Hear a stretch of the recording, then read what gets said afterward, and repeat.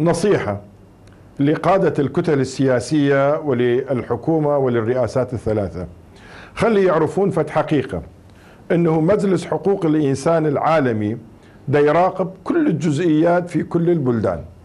وما دام العراق موقع على هذه الاتفاقيات فهو ملزم بتنفيذ بنود آه، قرارات الأممية الصادرة من مجلس حقوق الإنسان.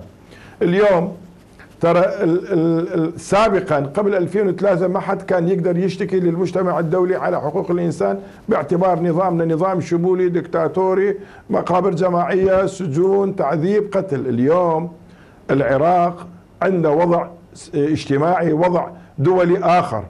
يقول أنا بلد مؤمن بالديمقراطية فأنا أدعو الكتل السياسية أن يعلموا بأن الانتهاكات التي تحصل في البلد تصل كلها إلى المجتمع الدولي.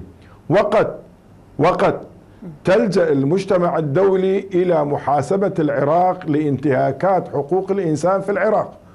مع ما يكون. أي شيء التربية السكن السجن الصحة الإرهاب التفجير التهجير كل هذه الملفات موجودة في المجتمع الدولي.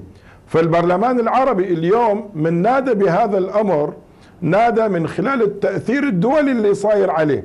يعني ما ما ما صدر هذا البيان اعتباطا. البيان صدر بناء على آه، القرارات الصادرة من المجتمع الدولي ويلزم البرلمان العربي إنه ينصح الدول العربية بتشريع القوانين التي تؤدي إلى الحد من انتهاك حقوق الإنسان. يعني اليوم أنا عضو في البرلمان الدولي عضو القانون الإنساني الدولي في البرلمان العالمي.